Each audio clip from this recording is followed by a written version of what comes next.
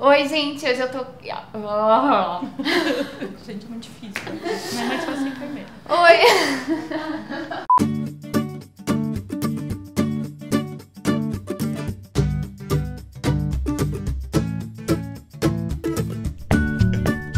Oi, gente! Hoje eu tô aqui com a Cris, ela é coordenadora de enfermagem Oncoemato e a gente vai falar um pouquinho sobre os cuidados que tem que ter com o catéter. Cris, eu no começo do tratamento eu coloquei um catéter, né, o Portocat, e pra fazer o transplante eu coloquei um outro. Cris, quais são os tipos de catéter que existem? Existem vários tipos, né? A gente tem o catéter de curta permanência e de longa permanência. Então, falando de longa permanência, que foi o que você teve experiência, nós temos o Portocat, que é um catéter que ele é totalmente implantado e uh, a proposta de ter um catéter desse é você vir para o hospital ou para o ambulatório, fazer o seu tratamento, recebe medicação, né, a quimioterapia, o soro, essas coisas, a gente tira a punção, você vai para casa. Mês seguinte você está de novo aqui fazendo o tratamento e tal. Então é um catéter excelente pensando no período todo de tratamento. Outro catéter de longa permanência é o catéter de Hickman, né? Então é um catéter também que pode ficar muito tempo no paciente. A vantagem dele em relação ao outro é que ele tem duas vias, né? Algumas opções às vezes até tem três vias.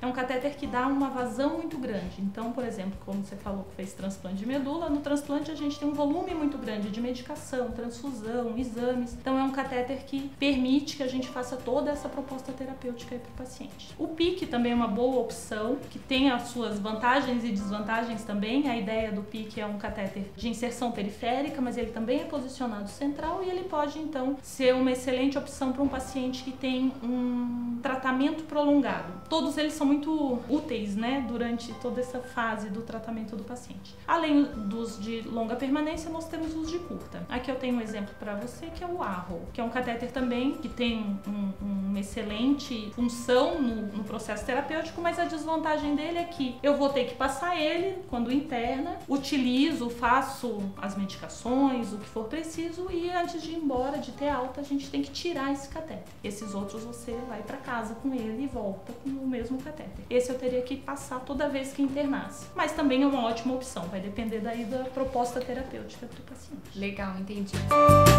O catéter é indicado para todos os tipos de paciente? Não necessariamente. Tem algumas doenças que a gente consegue fazer a terapia com um acesso periférico, por exemplo. Mas ele tem aí grandes vantagens sobre o acesso periférico em relação à segurança, conforto do paciente. Não sofrer, né, na hora Exato, de ficar pegando não dá para você pensar assim, ah, se o paciente vai fazer um, um, tratamento pensando em 10 meses, como que eu garanto que todas as 10 vindas, né, que muitas vezes são mais do que essas, mas todas as vezes que o paciente vem, ele vai ter um acesso periférico adequado, pérvio, sem contar a dor, tem vários Sim. outros contratempos aí que podem estar relacionados à dificuldade de punção venosa. Sem falar do risco, né? Então, às vezes, determinados quimioterápicos têm o risco de se extravasar fora da veia, tem aí potencial de causar dano na pele, outras Sim. coisas. Então, o catéter é sempre bem-vindo pensando em terapêuticas de longo prazo. Cris, depois que a gente coloca o catéter, tem que ter cuidado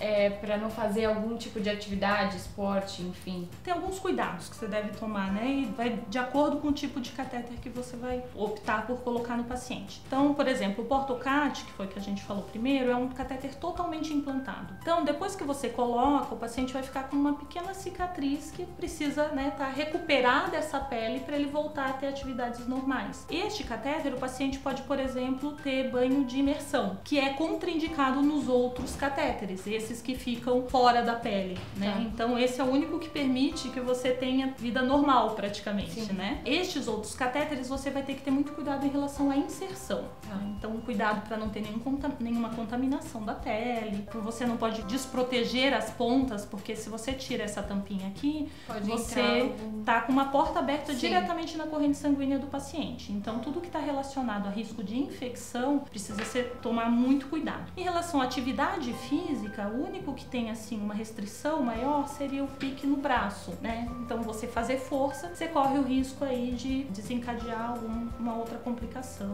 desde uma trombose, algo do tipo, ou até o deslocamento do catéter.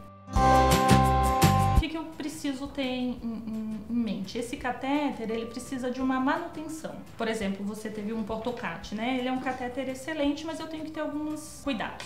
Este é um catéter que eu preciso puncionar para acessá-lo. Então tem todo um cuidado em relação à punção. Só profissional habilitado pode fazer isso. Algumas instituições permitem que apenas enfermeiro faça isso. Sim. Alguns lugares técnicos treinados realizam esses procedimentos né, de manutenção e cuidado do catéter. O portocate, o catéter, o portocate é um catéter que a cada 30 dias eu vou precisar acessá-lo. Tá. Então, o paciente, por exemplo, terminou o tratamento, mas ainda vai manter o catéter por alguns meses. Então, todos os meses esse, esse paciente vai ter que vir ao hospital, né, ao ambulatório. A gente vai puncionar o catéter, aspirar a heparina que tinha nele, lavar, fazer um flush com soro fisiológico e heparinizar de novo. Dessa forma, eu mantenho a permeabilidade desse percurso do catéter catéter. O catéter de Hickman, por exemplo, é um catéter que a gente precisa fazer isso semanalmente. Uhum. Então também, se eu não vim para o ambulatório para fazer medicação, né, a equipe de enfermagem não acessou,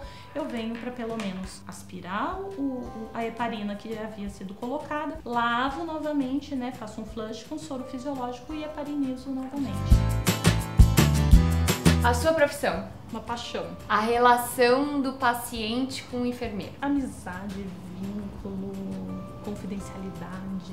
A cura do câncer. Nosso objetivo. Qual a importância da Abrale para você? A Abrale nos apoia e nos permite proporcionar muita coisa para os pacientes.